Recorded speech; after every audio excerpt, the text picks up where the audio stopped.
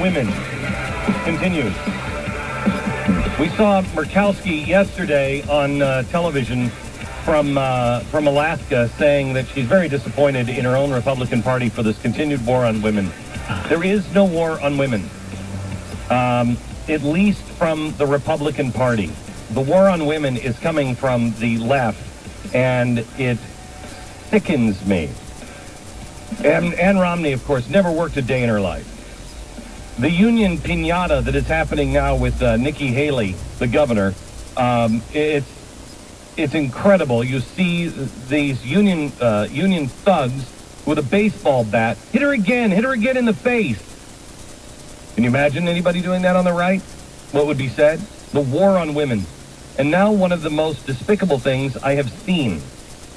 Uh, and I will tell you, in full disclosure, I haven't seen it myself, nor do I care to. But one of our um, uh, contributors, one of our um, friends to the program, one of our employees with GBTV, is Essie Cupp. And uh, Essie has been um, so incredibly wronged. I, you would think that this would be illegal, but apparently it's not. Essie Cupp is with us uh, now, and I'm going to let her tell the story of, of what it is. Hi, Essie. Hey, boss. How are you? I'm good. I'm I'm sorry that we're talking under these circumstances. This is embarrassing, and I'm I just want to apologize for for you. No, and you shouldn't be apologizing to me. I mean, this is this is. I think this is outrageous. Um, It and, is. and Pat and I were talking about it this morning when we found out about it, and, and honestly, I think this is. Um, I think this is uh, uh, something that no matter what the disclaimer says, Yeah. this will haunt you now for the rest of your life, and it is a complete falsehood. And it is, um, it, I, I I can't imagine there's not an attorney out there that can, that wouldn't make you one of the richest women alive. well, yeah. I mean, it's a doctored photo, and so so it's not like I'm embarrassed because I actually performed this act and they caught it on film. It's just embarrassing because, as you say, it will be out there forever. And you know, the fact that I work really hard and am an Ivy League educated young woman with a pretty good job. It doesn't matter when you look at a photo like this. And as you say, there, there's a disclaimer there. They do say this photo is not real. Um, it's, it's a parody. And I guess that, that makes it okay. But you have to wonder if, if they had done this to someone like Nancy Pelosi or Michelle Obama, would that, would that stand? Would no one make a stink about it? I, I have to think they would. Okay, Hustler magazine took a photo of um, Essie Cupp and wondered what it would look like if she were performing oral sex. And um, so they took a photo of her and doctored it, and I haven't seen it, like I said, but uh, Stu says it it uh, it's real enough, uh, and um, it, it you know they, you can print whatever you want and say, oh, this is just a parody, but that's not what's going to make the rounds. Right. The disclaimer is not going to go around with this. And if I may say to the President of the United States, um, if I had a daughter, she could look like Essie Cupp. Hmm. And does anybody care? Does anybody care? Your point here about Michelle Obama, the world would be set on fire. Sure would. Right. If they did this to Michelle Obama. And I would be right with them. And look Right. at look what happened when when a woman was called a slut. I mean, this to Right. me is far worse Oh, my God. than that. This is is way beyond that. I've actually, you know, I've covered a lot of this kind of misogyny, whether it was Sarah Palin or, or uh, you know, Ann Coulter and, and Michelle Malkin. I've, I've never actually seen something this disturbing and graphic. But if I can just express a, little gratitude for Hustler, and I'm being completely serious here. They, they, there is an accompanying sidebar to the, the story in which they lay out the reason why they did this to me, and, and it's very it's under a hundred words. And in in that paragraph, they say, "Essie Cupp is lovely. She's smart. She's fine, but she happens to be a crazy conservative who is pro-life and wants to defund Planned Parenthood, and for that, she deserves a phallus in her mouth." That is essentially what they're saying, and I have to mm-hmm. commend that as being incredibly honest.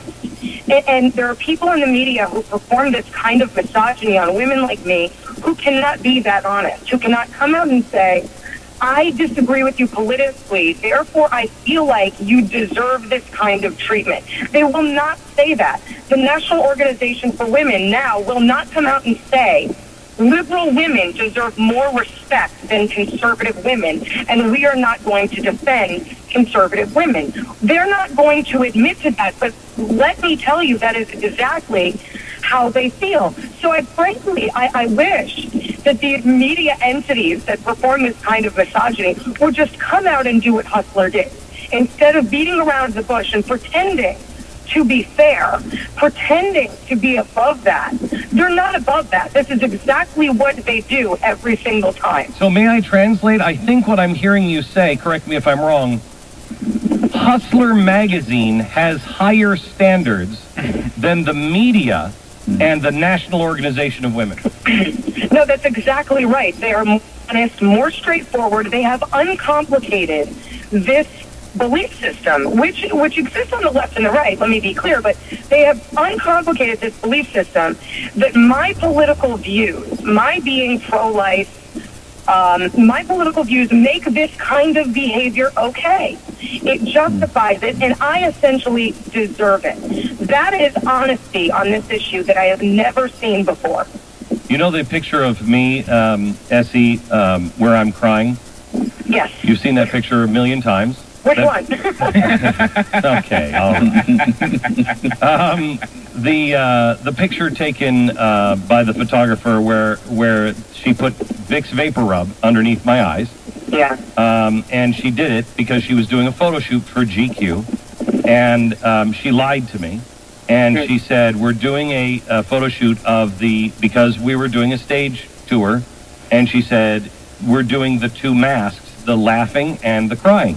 And she said, it's going to be a double, a double page, one. And I said, no, you're not going to do that. and she said, yes, we are. And I, and she said, uh, and I promise you it'll look great. And I said, um, she said, can you make yourself cry? And I said, of course I can't do that. If I could do that, do you think I'd be, you think I'd be doing this for a living? I'd be the Right. greatest actor of all time. And um, she said, well, will you just shoot it? And I said, listen, you're an artist. So I'm going to trust you in your, your artistic credibility yeah. um, uh, that you're going to be a, a, a woman of your word, Mhm. and you won't use this.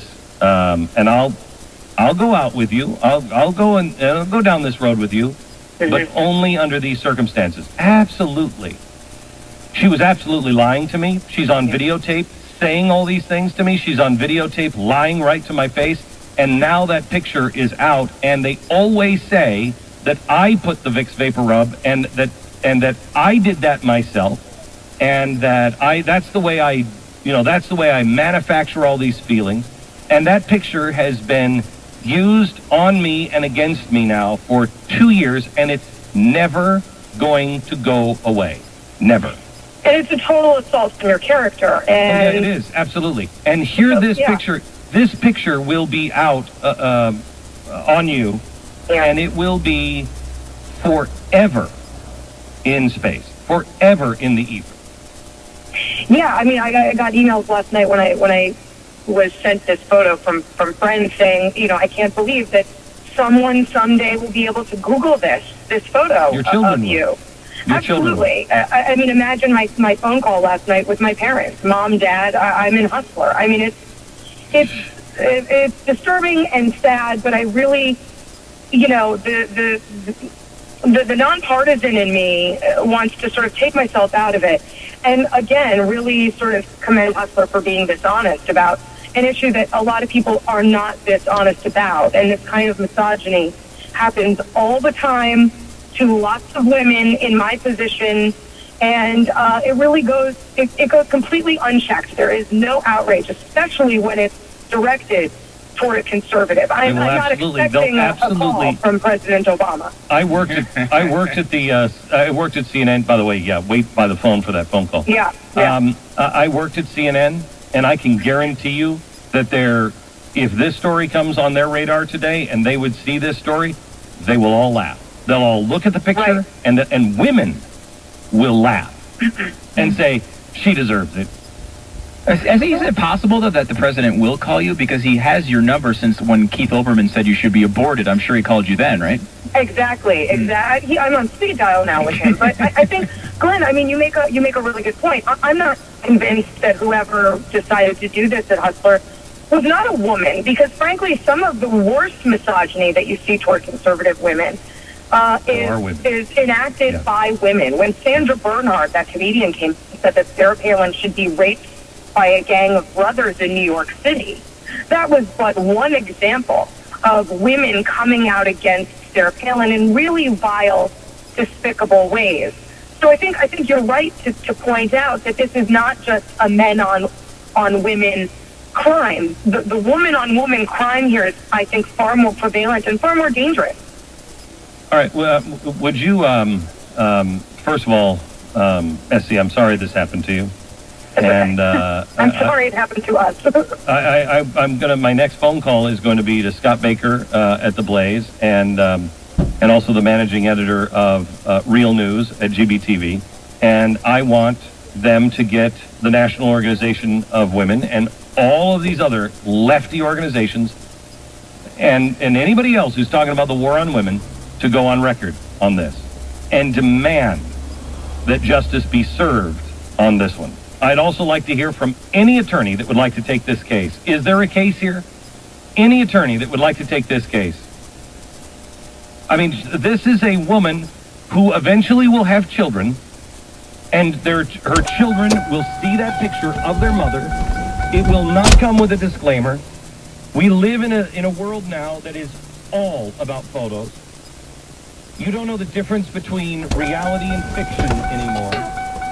And here's a picture that will go out on the internet and forever be the one when you Google her. It will forever pop up. Is this is this wrong, Democrats? Is this wrong? And I don't put you in the category of uh, of uh, you know hustler. But where's the line? Where's the line? Democrats have have sat out. They didn't say anything. It was Republicans when when uh, uh, you know David Letterman said something. It was conservatives that stood up to David Letterman and CBS. Nobody really said anything when they took down Sarah Palin, or, or, or is anybody saying anything today about the bashing? You want to talk about a war on women? The bashing of a pinata of a woman by the labor unions? You have Occupy Wall Street that is, they're raping women. They're raping women. And do you hear the media saying anything about it except they're mainly peaceful? Mainly peaceful. I don't know about you, but I don't, I don't talk about my family. If there's a rapist in my family, I don't say, well, we're mainly peaceful. I stop the rapes. And now SE. Does it matter anymore? I would just say again that if I had a daughter, she could look like Essie Cupp. Does the left even care? Essie, we'll try to get some organizations on record. Thank you very much. And sorry Thanks, this happened to you. All right. Thanks, Bob.